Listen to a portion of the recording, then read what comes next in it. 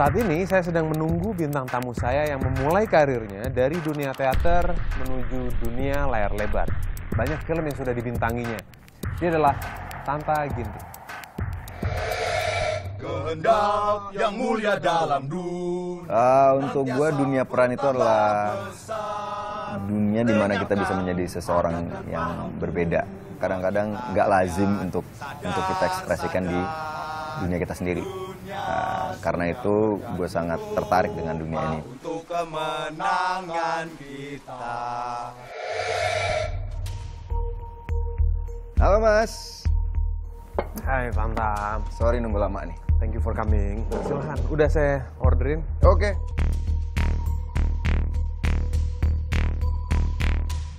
Awalnya kenapa tertarik dengan dunia teater? Kan sebelum layar lebar ya, nah, teater dulu. Mm-mm. Awalnya justru malah ke musik, pengennya tadi ngeband. Cuma waktu itu musik yang waktu pertama kali Tanta pulang ke Indonesia itu uh, musiknya lagi apa sih Melayu. Waktu itu udah uh, luntang lantung nggak tahu ke mana, ada temen ngasih uh, apa namanya casting untuk musikal.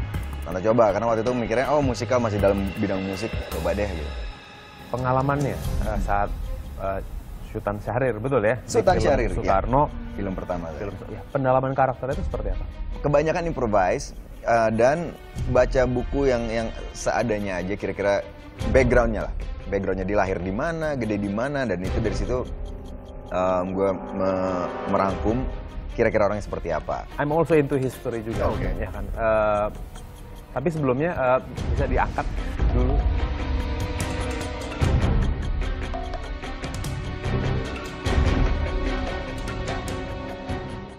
Kalau lihat sejarah di mana pun, hampir semuanya mereka mengukir nama mereka di sejarah tidak menggunakan violent atau kekerasan. Eh, mereka menyampaikan ide mereka menggunakan kata-kata, freedom of speech, komunikasi. Dari pikiran mereka dituangkan kepada kata-kata secara verbal. Saya sudah mendesain sebuah eksperimen yang tidak menggunakan kata-kata. oke setelah ngobrol-ngobrol di tengah-tengahnya tiba-tiba dia menawarkan sebuah eksperimen sebuah eksperimental komunikasi tanpa kata Eh, jadi nanti, imagine you read a comic.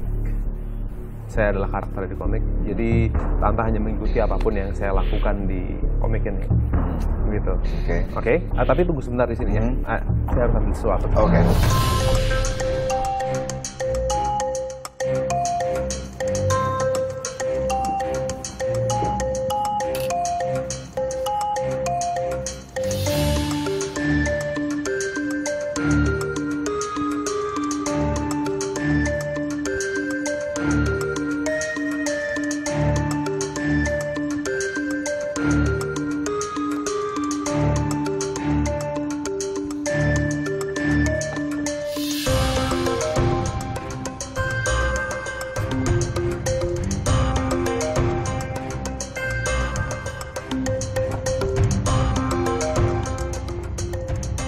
siap.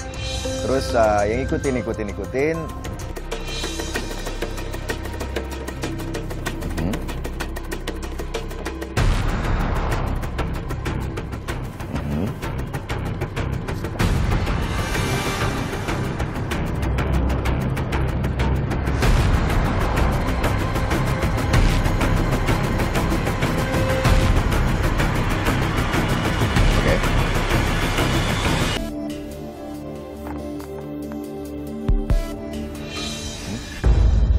Tadi ada ada satu pilihan lain karena warnanya lebih lebih menarik.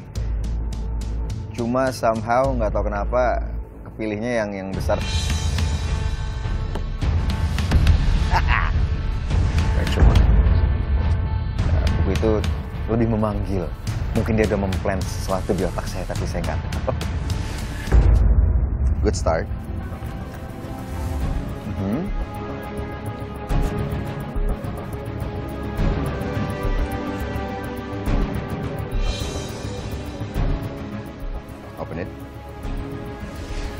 306.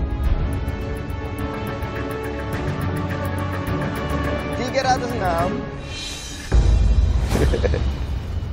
Mhm.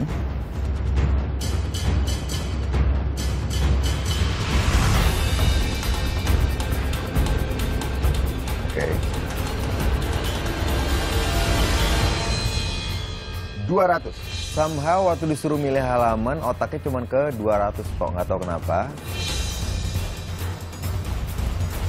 Really? Wow. Oke.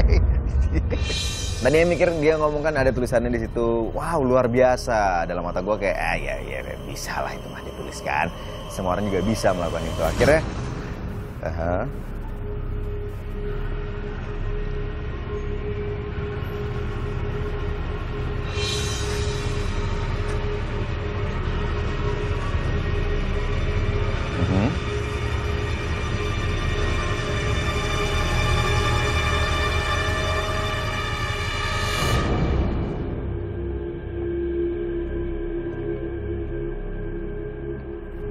It?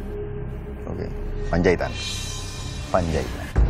Ada beberapa kata tapi yang yang menonjol itu adalah kata Panjaitan itu yang ada di tengah-tengah bukunya. really? Wow, okay. Nice. Not bad. Okay.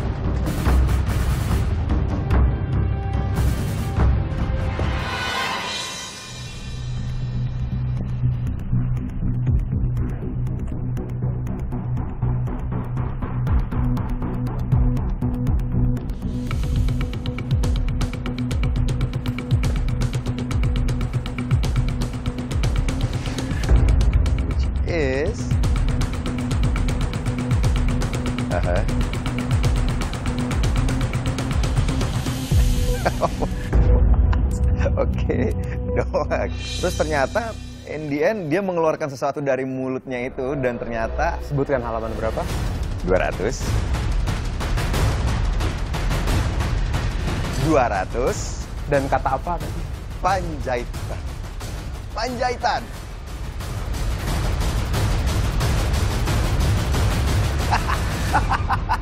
What? What? No. No.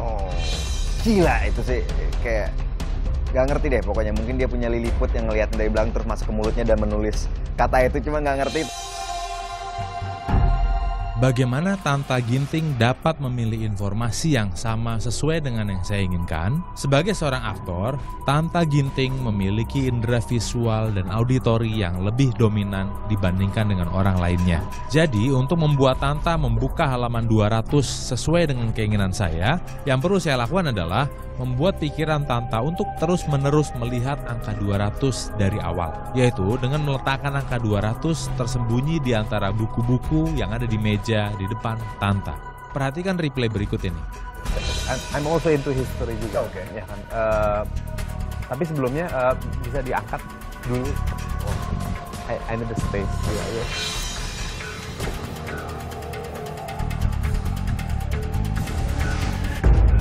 Dan dari banyak kata, bagaimana Tanta dapat memilih kata tersebut? Caranya adalah, di awal, di saat saya berbicara dengan Tanta, yang perlu saya lakukan adalah mengarahkan percakapan Tanta agar mendekati timeline sejarah dari kata yang dipilihnya.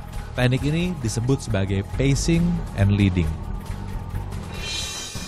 mind blasting pokoknya lah because I, I don't know how he, he does it but he did it and um, it was cool it was, it was awesome